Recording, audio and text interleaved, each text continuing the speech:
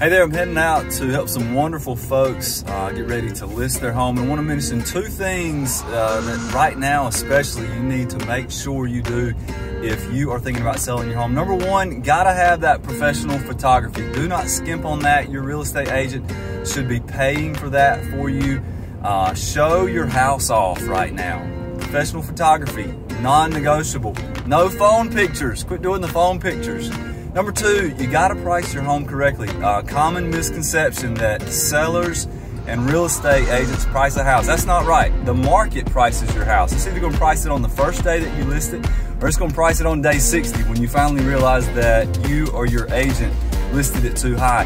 Pay attention to what the market is doing. More specifically, make sure your agent is paying attention to what the market is doing and price that house correctly. Have a plan uh, if your home is not selling within the time period you want it to go under contract, you're not getting a lot of uh, views or showings, have a plan in place with your agent to say, hey, by this time uh, in one week or two weeks, we need to talk about if the price is correct, if we need to drop it, if we need to increase it.